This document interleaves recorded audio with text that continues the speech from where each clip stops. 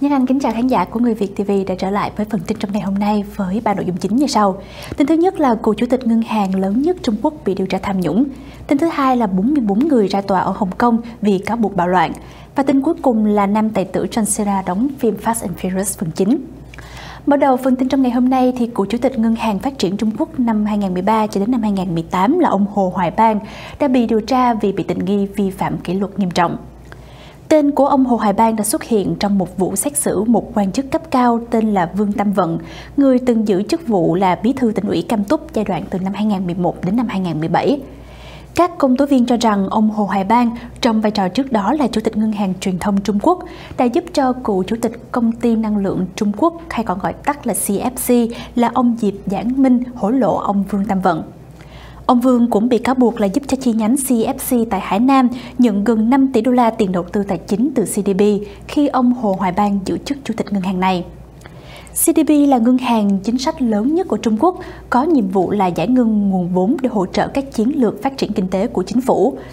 Ông Hồ Hoài Bang là quan chức mới nhất bị điều tra trong chiến dịch chống tham nhũng do Chủ tịch Trung Quốc Tập Cận Bình phát động từ năm 2012.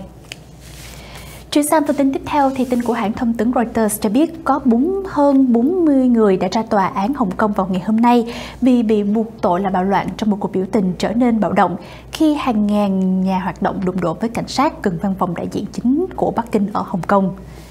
Nhóm 44 người này đã bị bắt giữ sau khi có một cuộc tụ họp ôn hòa vào ngày 28 tháng 12 năm ngoái tại một công viên ở khu thương mại trung tâm thành phố. Sau đó thì cuộc tụ họp đã nhanh chóng biến thành các vụ chạm trán rượt đuổi giữa hàng ngàn người biểu tình, mặc đồ đen và cảnh sát. Hầu hết thì các bị cáo được cho đại ngoại với số tiền bảo lãnh là 128 đô la Mỹ và tòa áp dụng lệnh giới nghiêm từ nửa đêm cho đến 6 giờ sáng đối với hầu hết những người trong nhóm và nhiều người được lệnh không được rời khỏi Hồng Kông. Và những người bị buộc tội thì bao gồm cả sinh viên, thực những người à, phụ tá, giáo viên, y tá, công nhân, nhân viên bán hàng và cả một phi công thuộc hãng hàng không Cathay Pacific. Chuyển sang về phần tin giải trí thì bộ phim Fast and Furious phần 9 vừa công bố danh sách diễn viên tham gia, trong đó thì có nam tài tử John Cena. Bên cạnh đó thì hai nữ minh tinh của Hollywood là Charlie Torrance và Helen Mirren cũng sẽ trở lại với Fast and Furious với nhiều đức diễn hơn.